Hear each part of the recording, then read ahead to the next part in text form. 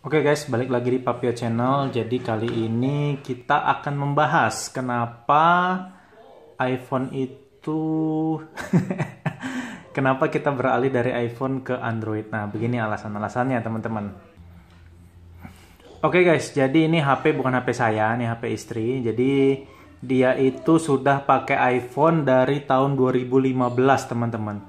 Mulai dari iPhone yang 5, iPhone 5S, dan ini sekarang iPhone 6 nih teman-teman. Udah lima tahun.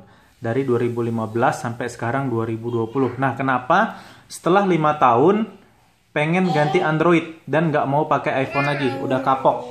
Oke jadi alasan yang pertama uh, kita selalu beli iPhone yang bukan seri terbaru ya. Jadi kalau seri terbaru itu kan harganya gila-gilaan. Jadi kita selalu beli iPhone itu seri yang udah lama. Jadi harganya udah turun setengah baru kita beli. Kalau baru kita nggak sanggup belinya. Jadi masalah iPhone itu kalau dia seri lawas itu dia akan lemot teman-teman. iOS-nya udah nggak akan dapat update yang baru. Kayak ini iPhone 6 dia nggak dapat iOS yang terbaru.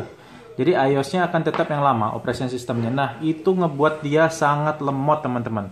Apalagi kalau uh, kita multitasking ya buka web buka apa gitu kan buka te Instagram Telegram macam-macam dia akan lemot dan itu bikin kesel teman-teman. Ketika kita pengen cepet kita pengen foto gitu kan atau kita pengen buka WA cepet ada yang penting itu lemotnya ngehengnya luar biasa. Jadi pengguna iPhone itu dipaksa untuk beli iPhone terus gitu loh. Itu masalahnya. Beda kalau Android. Kayak saya pakai Note 5 itu kan keluaran lawas itu udah lama banget.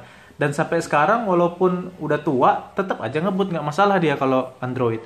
Kalau iPhone nggak. Kalau dia sudah seri tua itu bakalan lemot banget. Karena iPhone itu memaksa penggunanya untuk upgrade, upgrade, upgrade terus. Yang lamanya dibikin lemot. itu alasan pertama kenapa kita ganti. Lalu alasan yang kedua adalah soal baterai, teman-teman. Nah, baterainya ini dia itu ngecasnya harus apa ya? Harus take with care lah, harus hati-hati banget ngecasnya nggak bisa sembarangan. Kalau udah penuh harus cepet-cepet dicabut, nggak boleh sampai habis banget, ngecasnya juga nggak boleh sampai full banget ngecasnya nggak boleh di mobil, jangan pakai power bank. Nah kayak kayak gitulah perawatannya, biar baterai healthnya tetap bagus. Nah itu ribet teman-teman. Beda kayak Android, kayak HP saya kan pakai Android itu ngecas serampangan aja juga aman-aman aja, nggak jadi masalah. Beda kalau iPhone karena sebelumnya kami pakai iPhone yang 5S itu ngecasnya sembarangan itu langsung rusak baterainya teman-teman. Jadi gara-gara itu kami yang ini ngecasnya harus hati-hati banget. Nah itu membuat ribet. Kita kan pengen cepet pengen ringkas ya. Sedangkan ya susah lah itu. Lalu yang ketiga adalah masalah ketahanan baterainya. Hampir semua iPhone itu ketahanan baterainya parah. Kayak gini nih HP ini pemakaian standar aja sih medsos. Itu ngecas dua kali sehari. Nah saya baca-baca uh, iPhone yang baterainya udah mulai bagus tuh iPhone X ke atas. Nah, itu kan harganya gila-gilaan. Sedangkan iPhone-iPhone di bawah itu baterainya parah. Itu cepet banget habis baterainya. Beda dengan Android ya, baterainya kan bisa lebih tahan lama dengan kapasitas yang lebih besar. Kalau iPhone hampir semua yang seri-seri seperti ini itu baterainya kecil-kecil semua dan cepet habis. Nah, itu yang bikin bete. Lalu yang keempat, yang keempat dia tidak ada slot memori eksternal kayak ini nih cuman dikasih dia cuman 32 GB dan tidak ada memori eksternal. Iya sayang. Beda kayak Android sekarang kan walaupun memorinya mungkin cuma 32, cuma 16, cuman dia udah disediain dengan memori SD card. Jadi dia bisa lebih sebentar sayang. Nah, oleh karena itu memang Apple itu memaksa kita, memaksa pembelinya untuk beli memori yang lebih besar dan harganya lebih mahal. Beda kalau kayak Android, walaupun memori internal kecil dikasih slot memori kan bisa beli SD card apa, beli memory card sendiri. Nah, ini enggak, kita dipaksa untuk beli HP iPhone yang memorinya lebih besar dan itu harganya lebih mahal. Itulah triknya Apple, guys. Lalu alasan kelima kenapa ganti ke Android yaitu karena casannya. Jadi di rumah itu pada pakai Android semua teman-teman. Kalau pakai iPhone sendiri nggak bisa pinjam casan lah, itu lebih susah. Dan juga di komunitas kami ya, di tempat-tempat kami, kawan-kawan kami itu kebanyakan pakai Android, jarang yang pakai iPhone. Jadi kalau mau pinjam casan, ya enaknya casan barengan gitulah sesama pengguna Android. Lalu yang keenam, nah ini nih keenam nih. Ngisi lagunya susah, ini menurut kami ya.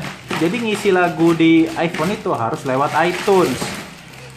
Nggak bisa kita main pindah-pindahin aja kayak Android kan. Download dari HP, langsung play di HP itu bisa kalau Android. Kalau iPhone nggak bisa guys, dia harus ditransfer pakai iTunes. Nah download pakai iTunes tuh ya ribet lagi gitu loh, nggak bisa sekedar copy paste kayak Android yang gampang. Download play gampang, ini nggak bisa. Jadi kalian bener-bener harus ribet kalau mau masukin lagu ke HP ini.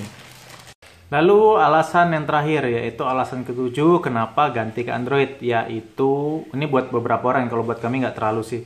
Dia jarang yang ada dual SIM card. Jadi yang biasa pakai dua nomor itu ya mungkin agak susah ya pakai iPhone ya. Saya nggak tahu iPhone yang seri-seri terbaru. Yang jelas kalau ini dia cuma bisa single SIM card. Beda dengan Android yang hampir semua HP Android itu bisa dual SIM card. Eh SIM card.